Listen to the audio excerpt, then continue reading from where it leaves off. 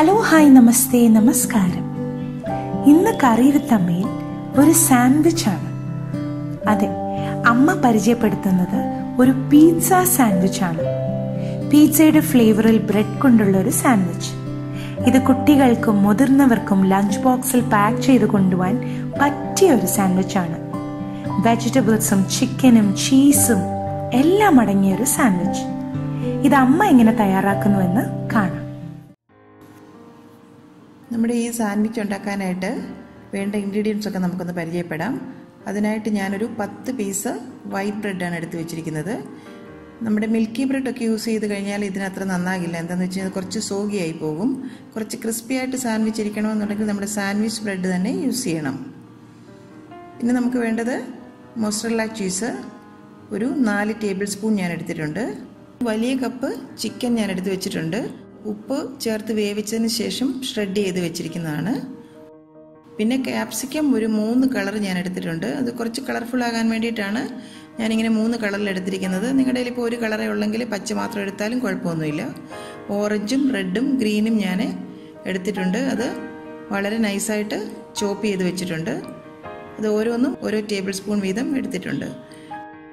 പിന്നെ ഗാർലിക് ബട്ടറാണ് ഞാൻ എടുത്തിരിക്കുന്നത്. ഇതുപോലെ ഒരു രണ്ട് കഷ്ണം ഗാർലിക് ബട്ടർ എടുത്തിട്ടുണ്ട്.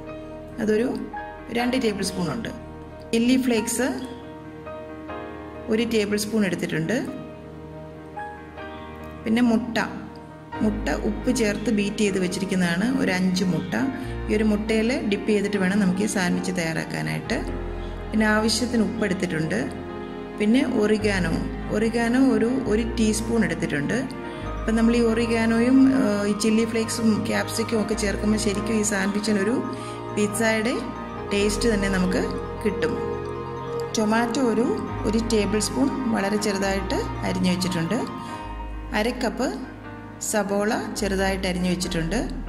പിന്നെ പനീർ ഒരു അര കപ്പ് അതും നല്ലവണ്ണം ഷ്രെഡ് ചെയ്ത് വെച്ചിട്ടുണ്ട്. ഇത്രയും സാധനങ്ങളാണ് നമുക്കിതിന് ആവശ്യമുള്ളത്. ഇനി നമുക്ക് ഈ സാൻഡ്വിച്ച് എങ്ങനെ തയ്യാറാക്കുന്നതെന്നൊന്ന് കാണാം. ആദ്യം തന്നെ നമ്മുടെ ഈ ബ്രെഡ് പീസസ് ഒക്കെ ഒന്ന് ഒരു റൗണ്ട് ഷേപ്പിൽ നമുക്കൊന്ന് കട്ട് ചെയ്തെടുക്കണം. അതിനായിട്ട് ഇതുപോലെ ഒരു ചോപ്പിംഗ് ബോർഡ് വെച്ചിട്ട് അതിലേക്ക് ഈ ബ്രെഡ് പീസസ് അങ്ങ് വെച്ച് കൊടുക്കുക. ഇനി ഒരു റൗണ്ട് ആയിട്ടുള്ള ഒരു കട്ടർ എന്തെങ്കിലും നിങ്ങളുടെ കയ്യിലുണ്ടെങ്കിൽ അതെടുക്കുക മാക്സിമം റൗണ്ടായിട്ട് ഷേപ്പ് കിട്ടുന്ന ഒരു കട്ടർ വേണം നിങ്ങൾ എടുക്കാനായിട്ട്. ഞാനിപ്പോൾ ഇവിടെ ഇതുപോലെ ഒരു ഗ്ലാസ് ആണ് എടുത്തിരിക്കുന്നത് ഷാർപ്പായിട്ട് എഡ്ജുള്ള നിങ്ങളുടെ കുക്കി കട്ടർ ഉണ്ടെങ്കിൽ അതെടുക്കാം കുഴപ്പമില്ല. അപ്പം ഞാൻ ഇതുപോലെ ഒരു ഗ്ലാസ് ആണ് ഇവിടെ എടുത്തിരിക്കുന്നത്. ഈ ഒരു ഗ്ലാസ് വെച്ചിട്ട് ഈ ബ്രെഡിന്റെ പുറത്തേക്ക് ഇതുപോലെ വെച്ചിട്ട് നല്ലവണ്ണം അങ്ങ് പ്രസ് ചെയ്ത് കൊടുക്കണം. അപ്പോൾ മാക്സിമം റൗണ്ട് ഷേപ്പ് കിട്ടുമ്പോൾ നമുക്ക് കുറച്ച് വേസ്റ്റേജ് ആ ബ്രെഡിന്റെ വരുള്ളൂ എക്സസ് ആയിട്ട് വരുന്ന ബ്രെഡ് നമുക്ക് പാനിലിട്ടിട്ട് നല്ലവണ്ണം ടോസ്റ്റ് ചെയ്തെടുത്താൽ മിക്സിയുടെ ജാറിലിട്ട് പൊടിച്ച് നമുക്കത് ബ്രെഡ് ക്രംസ് ആയിട്ട് യൂസ് ചെയ്യാം. കണ്ടല്ലേ? ഇതുപോലെ കട്ട് ചെയ്ത് ബാക്കി വരുന്ന ബ്രെഡ് പീസ് ഒരു പ്ലേറ്റിലേക്ക് അങ്ങ് മാറ്റി വെക്കാം. അതുപോലെ രണ്ടാമത്തെ ബ്രെഡ് പീസും എടുത്തു. ഇതുപോലെ ആ ഗ്ലാസ് ഒന്ന് പ്രസ് ചെയ്തൊന്ന് തിരിച്ചു കൊടുക്കണം. ഇതുപോലെ ഓരോ പീസും നമുക്ക് റൗണ്ട് ഷേപ്പായിട്ട് തന്നെ കട്ട് ചെയ്തിങ്ങ് എടുക്കണം. കണ്ടല്ലേ? ഇതുപോലെ നമുക്ക് നല്ല റൗണ്ട് ഷേപ്പായിട്ട് തന്നെ നമുക്ക് കട്ട് ചെയ്തെടുക്കാം.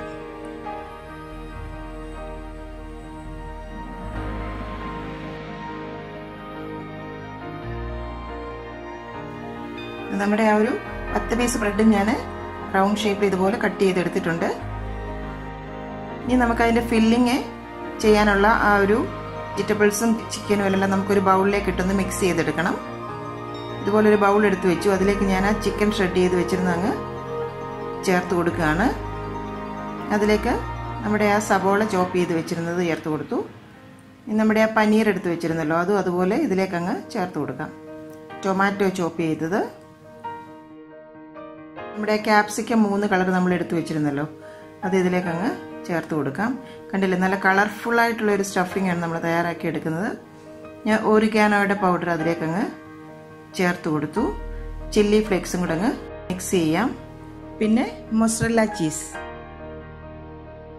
നല്ലവണ്ണം ഒരു സ്പൂൺ കൊണ്ടങ്ങ് മിക്സ് ചെയ്ത് എടുക്കണം. അല്ലെ നല്ല കളർഫുള്ളായിട്ടൊരു സ്റ്റഫിങ് ഇത് കുട്ടികൾക്ക് നന്നായിട്ട് ഇഷ്ടപ്പെടും. ഞാനൊരു കളർഫുൾ ആകാൻ വേണ്ടിയിട്ടാണ് ഈ മൂന്ന് കളർ എടുത്തത്. ഞാൻ പറഞ്ഞല്ലോ. നിങ്ങളുടെ ഇനി ഒരു പച്ച കളർ മാത്രം ക്യാപ്സിക്കമേ ഉള്ളെങ്കിൽ ഒരു കുഴപ്പമില്ല. അത് വെച്ച് തന്നെ നമുക്കിത് ചെയ്യാം. നല്ലവണ്ണം ആ സ്റ്റഫിങ് അങ്ങ് മിക്സ് ചെയ്തെടുത്തിട്ടുണ്ട്. അതിലേക്ക് നമ്മൾ ആവശ്യത്തിനുള്ള ഉപ്പും കൂടെ അങ്ങ് ചേർത്ത് കൊടുക്കണം. നമ്മൾ ചിക്കനിൽ ഉപ്പ് ചേർത്താണ് വേവിച്ചിരിക്കുന്നത്. അതുകൊണ്ട് ഉപ്പ് നോക്കിയിട്ട് അതനുസരിച്ചുള്ള ഉപ്പ് വേണം നമ്മൾ ചേർത്ത് കൊടുക്കാൻ. ഇനി നമ്മൾ ട്രേയിലേക്ക് ആ ഒരു ബ്രെഡിന്റെ ഒരു പീസ് അങ്ങ് എടുത്ത് വെച്ചു.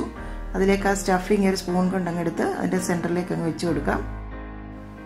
മാക്സിമം സ്റ്റഫിങ് നമ്മൾ അതിലേക്ക് വെച്ച് കൊടുക്കുക. എന്നിട്ട് ഇതുപോലെ സ്പൂൺ കൊണ്ടൊന്ന് പ്രസ് ചെയ്ത് കൊടുക്കണം.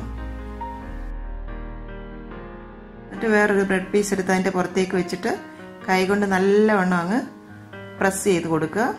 അപ്പം രണ്ട് പീസ് ബ്രെഡും കൂടെ നല്ലവണ്ണം അങ്ങ് ചേർന്ന് കിട്ടും. ഒരു ഡിസ്കിന്റെ ഒരു ഷേപ്പിൽ നമുക്ക് കിട്ടും. അതവിടെ മാറ്റി വെച്ചു. അടുത്ത ബ്രെഡ് പീസും ഇതുപോലെ എടുത്തു വെച്ചിട്ട് നിങ്ങളുടെ കുക്കി കട്ടർ ഇതുപോലത്തെ ഉണ്ടെങ്കിൽ അതിന്റെ സെന്ററിലേക്ക് വെച്ചിട്ട് ഈ സ്റ്റഫിങ് അതിലേക്ക് അങ്ങ് വെച്ച് കൊടുക്കാം. അപ്പം അതിന്റെ സെന്ററിൽ തന്നെ അത് ഇരിക്കും. എന്നിട്ട് സ്പൂൺ കൊണ്ട് ചെറുതായിട്ടൊന്ന് പ്രസ് ചെയ്ത് കൊടുത്താൽ മതി. അങ്ങനെയും ചെയ്യാൻ കുഴപ്പമില്ല. വേറൊരു ബ്രെഡ് പീസ് എടുത്ത് വെച്ച് ഇതുപോലെ അങ്ങ് പ്രസ് ചെയ്ത് കൊടുത്തു. രണ്ട് സൈഡും ഒന്ന് പ്രസ് ചെയ്ത് കൊടുക്കണം. ഇതുപോലെ എല്ലാ ബ്രെഡ് പീസും നമുക്കങ്ങ് ഫില്ല് ചെയ്തെടുക്കാം.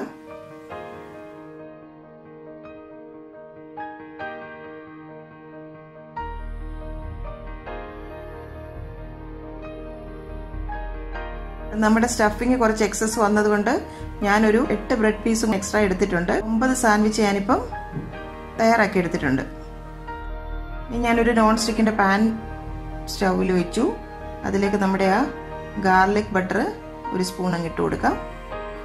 ഈ ഗാർലിക് ബട്ടറാണ് ഈ സാൻഡ്വിച്ചിന് നല്ലത്. നല്ലൊരു ഫ്ലേവർ നമുക്ക് കിട്ടും. ചെറിയ തീ തന്നെ വെച്ചിട്ട് നമ്മുടെ ആ ഫില്ല് ചെയ്ത് സാൻഡ്വിച്ച് ലെഗ് വാഷിലേക്ക് ഒന്ന് ഡിപ്പ് ചെയ്തതിന് ശേഷം പാനിലേക്ക് അങ്ങ് വെച്ച് കൊടുക്കണം. അടുത്ത സാൻഡ്വിച്ച് എടുത്ത് ഇതുപോലെ എഗ്ഗിലേക്കൊന്ന് ഡിപ്പ് ചെയ്യുക. അതിന്റെ സൈഡ്സിലോട്ടും നല്ലവണ്ണം എഗ്ഗൊന്ന് സ്റ്റിക്ക് ചെയ്യാനായിട്ട് ശ്രദ്ധിക്കണം.